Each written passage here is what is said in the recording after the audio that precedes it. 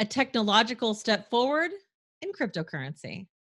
I'm Tonya Hall, and joining me is Bram Cohen, creator of BitTorrent and founder and CEO of Chia Network. Welcome, Bram. Nice to be here.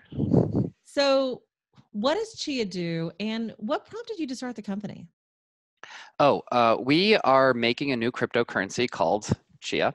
Uh, the uh, the genesis of the company is I am a protocols engineer, peer-to-peer protocols engineer of some renown, and uh, cryptocurrencies are this new thing, and they're a very nascent technology uh, with which has a lot of problems, lots of opportunity to be improved on and made better. And I really got interested in working on those problems.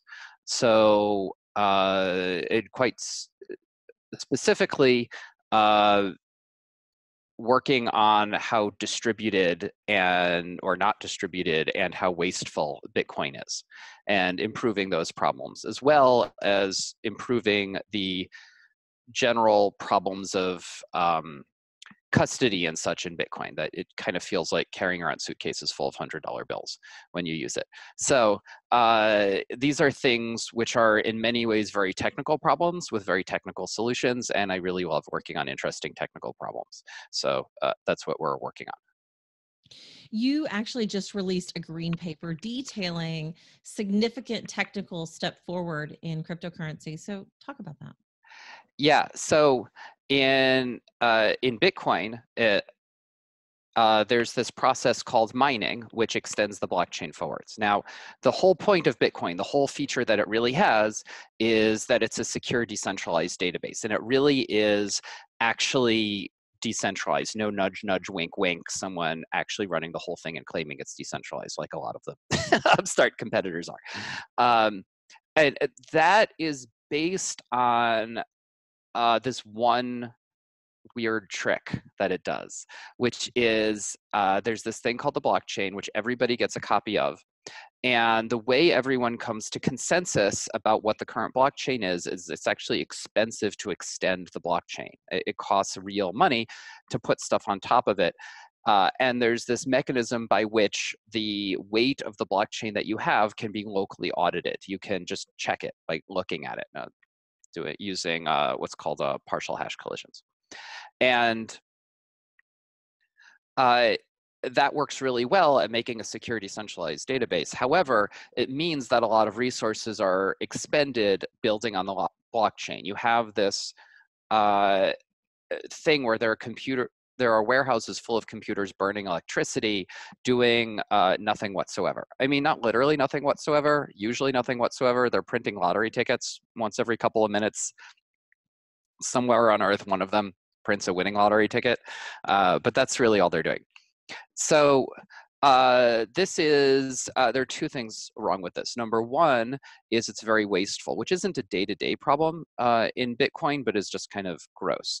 And number two, which is much more scary from a day to day standpoint in Bitcoin, is it winds up being nowhere near as decentralized as you'd really like it to be. Uh, some people get have access to better hardware or uh, cheaper power, and it winds up being that a relatively small number of entities could uh, basically just take over Bitcoin uh, right now. And so you'd like that to be better.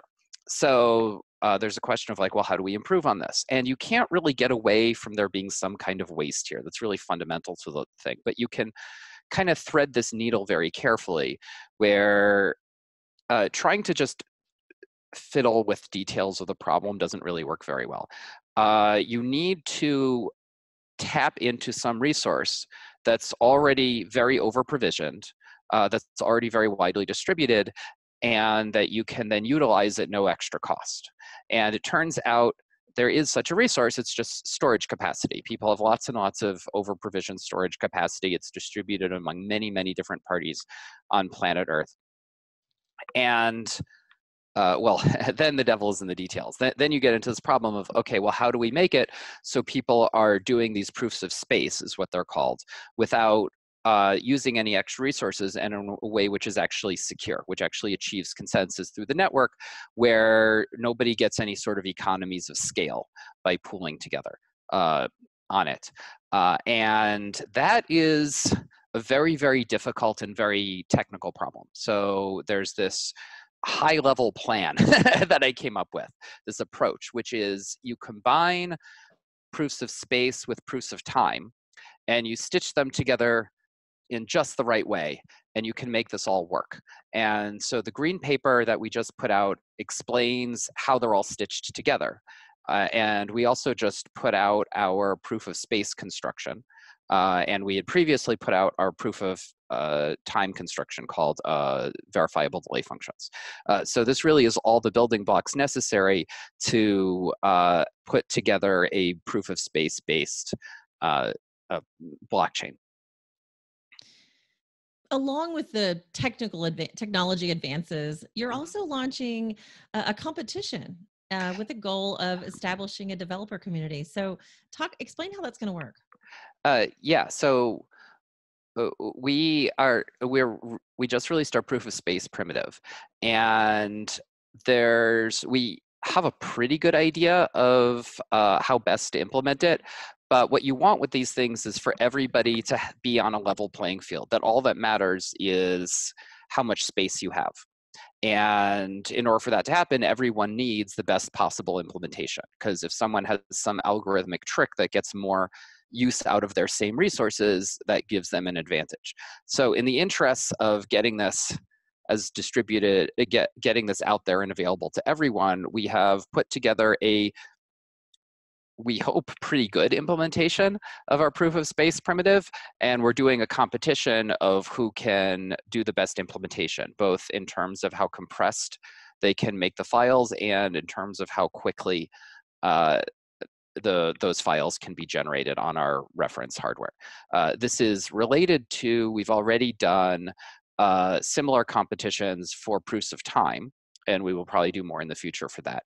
And had uh, pretty substantial uh, improvements uh, in how fast those could work. Uh, from the broader community, like f- far beyond what we could have done had we just tried to pay some people to do it. So the, the competition format works very, very well uh, for these sorts of things. We're, we're giving out $100,000 in prizes. Nice. That's certainly a, nice uh, amount of uh, of prize giveaways. Why did you decide to use an open format for the competition?